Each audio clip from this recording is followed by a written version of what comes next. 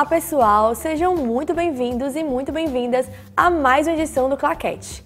Olha só, a Black Friday está chegando e é quando se inicia a temporada de compras de Natal e de fim de ano. Geralmente fica difícil não pensar em tudo o que a gente quer comprar, não é mesmo?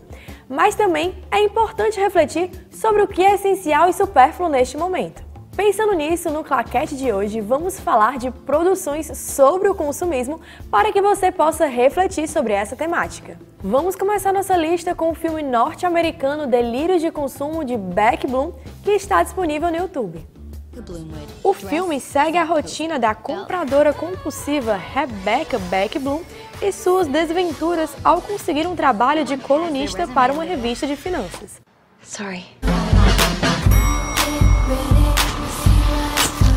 Apesar do sucesso, ela acaba entrando em contradição, pois parece não seguir os próprios conselhos e continua a se endividar. Baseada no livro de mesmo nome de Sophie Kinsella, a produção é a escolha perfeita se você está procurando um filme divertido que vai lhe deixar pensando: será que eu sou igual a Beck Bloom? Hum, é importante refletir. E agora seguimos com Minimalismo, o documentário sobre as coisas importantes. E você pode conferir na Netflix e no YouTube. Pelo olhar de Milburn e Nicodemus, o documentário traz críticas à onda de consumismo influenciada pela mídia, publicidade e sociedade. Os dois jovens percebem que estão reféns desse padrão de vida e por isso buscam um estilo de vida mais simples, com menos apegos e ambições materiais fundadores e autores do site The Minimalist, eles ampliam o diálogo sobre consumo compulsório, trazendo depoimentos de jornalistas, cientistas, famílias, empresários, entre outros. Além disso, ele nos mostra como viver com mais simplicidade e menos materialismo. E a gente continua nossa lista com o documentário brasileiro Criança, a Alma do Negócio, da cineasta e roteirista Stella Renner. A produção está disponível no YouTube. Esse daqui é o Jogo da Vida.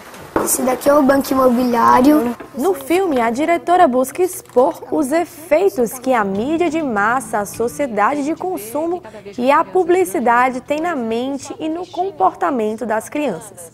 Além disso, reflete também sobre a dinâmica familiar com os pais e a influência das propagandas infantis no dia a dia dos filhos. Elas estão correndo pensando no salto alto dela, que não pode tropeçar, que vai cair, então elas param de correr. Se arruma toda linda e vai pra escola. O longa faz uma denúncia sobre os dilemas, éticas e contradições morais que existem nas propagandas infantis a partir de depoimentos mostrados, faz uma reflexão sobre os impactos que isso causa na sociedade brasileira. Então é isso, pessoal. O claquete dessa semana vai ficando por aqui. Espero que vocês tenham gostado dessa lista e assistam os filmes para refletir sobre os nossos padrões de consumo. Até a próxima!